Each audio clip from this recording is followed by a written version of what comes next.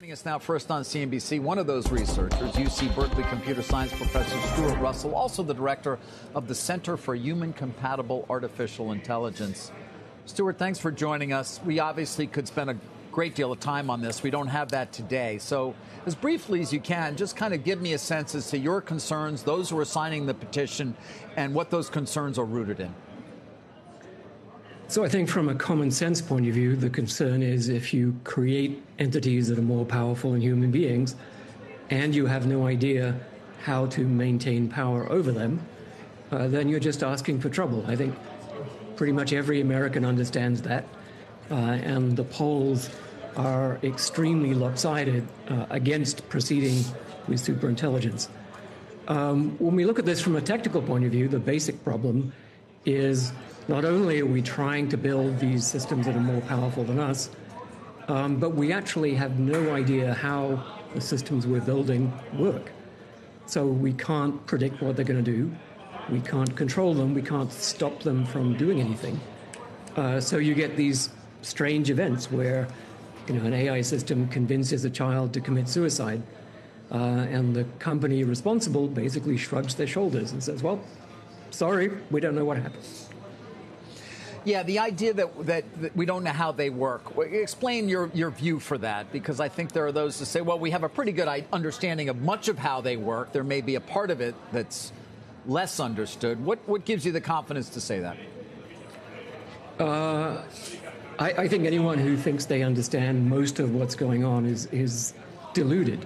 Um, to, to a first approximation, right, these are systems with trillions of parameters. So that, that's basically what you learn. You, you have a process of learning that tweaks those trillions of parameters by quintillions of small random perturbations until the behavior of the system matches as well as possible what the training data uh, is telling it to do. But we have no idea what's going on inside that giant box with trillions of parameters. Uh, we understand a lot less about that than we understand about the human brain. And we don't understand the human brain very well. Um, the other problem is that what we're training them to do is to imitate human beings. Uh, we're collecting lots and lots of recordings of human verbal behavior and then training the systems to imitate that. And the human beings who produced that behavior had motives, reasons, goals for doing it. They wanted to convince people they wanted you to buy things, they wanted you to marry them, uh, they wanted you to elect them president, whatever it is. Those are reasonable human goals. But they're not reasonable goals for machines. And the machines are absorbing these goals uh, from the training process. Uh, in particular, self preservation. There's, there's now tons of evidence that these systems will not allow themselves to be shut down.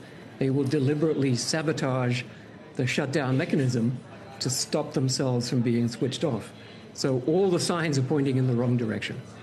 Yeah, there's been uh, some early research on the model's willingness to blackmail a user uh, if, in fact, they got the sense that their own existence was in jeopardy. I'm, I'm amazed by the, there's a fair amount of, I guess you'd call it political circularity in those who have uh, signed on to this. And I'm wondering if you think that gives you a, a fair amount of traction politically.